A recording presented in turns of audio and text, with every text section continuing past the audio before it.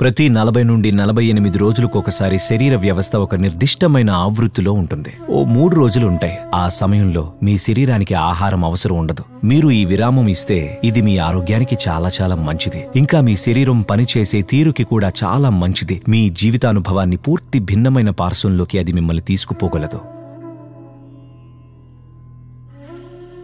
మీరు గనక సహజ సిద్ధంగా భౌతిక శరీరానికి ఉండే చక్రాలను గమనిస్తే మండలం అనేది ఒకటి ఉంటుంది. ప్రతి నలభై నుండి నలభై ఎనిమిది రోజులకు ఒకసారి శరీర వ్యవస్థ ఒక నిర్దిష్టమైన ఆవృత్తిలో ఉంటుంది.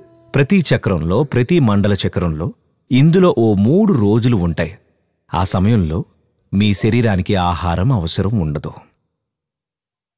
మీరు గనుక మీ శరీరం ఎలా పనిచేస్తుందనే స్పృహతో ఉంటే మీరు ఎరుకుతో ఉంటారు. ఈ రోజు నా శరీరానికి ఆహారం అవసరం లేదని తెలుస్తుంది. ఇంకా ఏ ప్రయాస లేకుండానే ఆ రోజున మీరు ఆహారం లేకుండా ఉండగలరు.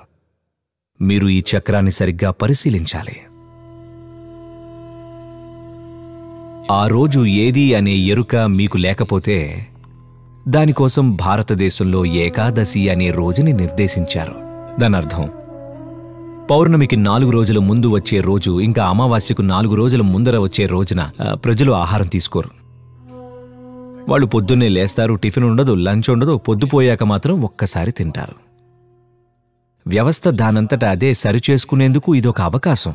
మీరు ఈ విరామం ఇస్తే అది మీ ఆరోగ్యానికి చాలా చాలా మంచిది. ఇంకా మీ శరీరం పనిచేసే తీరుకి కూడా మంచిది. ఎందుకంటే వ్యవస్థకు దానంతట అదే సరిచేసుకోవడానికి ఆ సమయం ఎంతో అవసరం. ప్రతిరోజు ఆహారం వేస్తూ ఉంటే అది శరీరానికి చాలా పెద్ద శ్రమ. కొంచెం విరామం ఇవ్వండి మీ శరీరానికి. మీరు తినకుండా ఉండలేకపోతే ఆ ఒక్కరోజు తేలికగా అరిగేవేమైనా తీసుకోండి.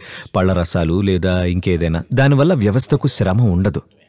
ఖచ్చితంగా శరీరం మీకు చాలా రుణపడి ఉంటుంది. అవును. ప్రతిరోజు వండిన ఆహారాన్ని నింపేయడం అనేది అంత మంచిది కాదు. కాబట్టి ఆధ్యాత్మిక పరంగా దాని విశిష్టత ఏంటి? ఏంటంటే అదో శుద్ధీకరణ. మీ వ్యవస్థ చురుకుగా లేకపోతే మీరు ఆధ్యాత్మికంగా ఏది చేయాలనుకోరు. మీకు మందంగా అనిపిస్తుంది. ఒక సాధకుడికి అతిపెద్ద శత్రువు నిద్ర. ఇక్కడ కూర్చొని కళ్ళు మూసి పూర్తిగా మెలుకుతో ఉండాలంటే అది మామూలు విషయం కాదు. చాలామంది విషయంలో వాళ్ళు కళ్ళు మూసుకుంటారంటే నిద్రపోతారు. కాబట్టి ఇక్కడ కూర్చొని పూర్తి అప్రమత్తంగా ఉంటూ కళ్ళు మూసుకుని ఉండాలంటే శరీరంలో ఒక ప్రత్యేక స్థాయి చురుకుదనం అవసరం. కాబట్టి ఈ చురుకుదనం తీసుకురావాలంటే ఎలా తినాలి ఏం చేయాలి ఎంత తినాలి ఇవన్నీ మేము పరిశీలించాం. అది ఆధ్యాత్మికం కాదు. కానీ అది శరీరాన్ని సక్రమంగా ఉంచుతుంది. ప్రస్తుతం మీకు ఒంట్లో చాలా నీరసంగా అనిపిస్తే నేను జ్ఞానోదయం గురించి మాట్లాడుతున్నాను అనుకోండి. ఏంటిది అనుకుంటారు. అవునా?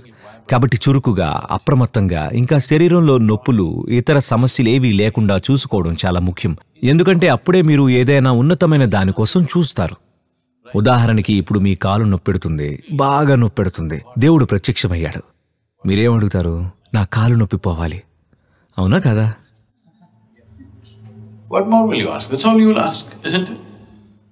ఎందుకంటే శరీరానికి మీపై అటువంటి ఆధిపత్యం ఉంది. మీరు దాన్ని ఒక నిర్దిష్ట స్థాయి స్థిమితంలో ఉంచనంత వరకు అది మిమ్మల్ని అన్ని రకాలుగా శాసిస్తుంది. అవునా కాదా? అందుకని మీ శరీరాన్ని పరిశుద్ధంగా ఆరోగ్యంగా ఉంచడం ఎంతో ముఖ్యమైనది. లేదంటే మీ జీవితంలో శరీరమే ప్రబలమైన శక్తిగా అవుతుంది. దాన్ని దాటి ఆలోచించే అవకాశం ఇవ్వదు. ప్రస్తుతం మీ శరీరంలో ఏదైనా బాగా నొప్పి పెడుతుందంటే ఉదాహరణకి మీ చిటికని వేలు. చాలా నొప్పి పెడుతుంది అనుకుందాం ఇప్పుడు మీ ఆసక్తి దేవుడిపైన జ్ఞానోదయం పైన ధ్యానం పైన దేనిపైన ఉండదు. మీ ధ్యాసంతా దీనిపైనే. అవునా కాదా? కాబట్టి దీనికి ఆసక్తి ఉంది. కాబట్టి మీరు దీన్ని సంతోషంగా ఉంచాలి. అప్పుడు మాత్రమే మీరింకేదైనా చేసేందుకు అనుమతిస్తుంది. లేకపోతే అవకాశం ఉండదు. కాబట్టి ఈ సందర్భంలో అప్పుడప్పుడు ఉపవాసం చేయడం వల్ల శరీరం దానంతట అదే పునరుద్ధరించుకోవడానికి దాని చేతనత్వాన్ని తిరిగి పొందేందుకు ఆహారం వల్ల జడంగా కాకుండా ఉండేందుకు ఇది ముఖ్యం. ఉపవాసానికి బదులు మీరు భోజనానికి భోజనానికి మధ్య తగినంత విరామం ఇచ్చినట్లయితే నేను గనక ఇది చెప్తే మీరు యోగా మానేస్తారు. భోజనానికి భోజనానికి మధ్య ఎనిమిది గంటల విరామం ఇవ్వడం ఉత్తమం. ఎనిమిది గంటలు ఏమీ తినకుండా ఉండగలిగితే కనీసం ఐదు గంటల విరామం ఇవ్వడం అవసరం. తినే ముందు మీకు ఆకలి అనేది తెలియాలి. ఆకలిగా అనిపించక ముందే మీరు ఆహారాన్ని గనక పంపించేశారనుకోండి వ్యవస్థ జడత్వాన్ని పొందుతుంది. దానికి చురుకుదనం తెలీదు. నేను చురుకుదనం అన్నప్పుడు నేను మాట్లాడేది కేవలం మీరు ఆ, మెలకువతో ఉండడం గురించి కాదు. ప్రస్తుతం మనమందరం ఒకే స్థాయి చేతనత్వంలో లేవు.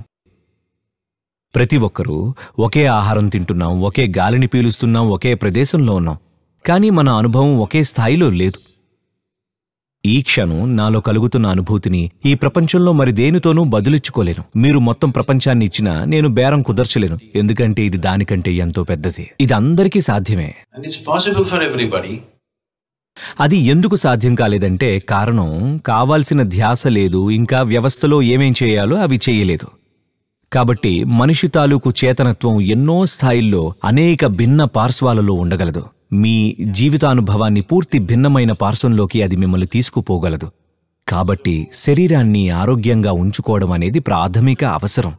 మీరు ఒక గొప్ప మల్లయోధుడో మరేదో కావాల్సిన అవసరం లేదు. కానీ తేలికగా ఉండేలా చూసుకోవాలి. ఉదాహరణకు మీరు ఇక్కడ కూర్చుంటే చీటికి మాటికి అటు ఇటు కదలకుండా ఉండగలగాలి.